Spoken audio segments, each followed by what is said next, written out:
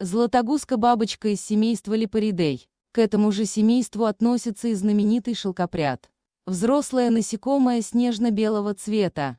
Брюшко у самца красно-бурое с красно-золотистыми волосками на конце, у самки темно-бурое с красноватой вершиной. Золотистые полоски на брюшке самца и дали название всему виду. По размеру бабочки-златогуски небольшие, всего 4-6 мм. Размах крыльев может достигать 2-3,5 см.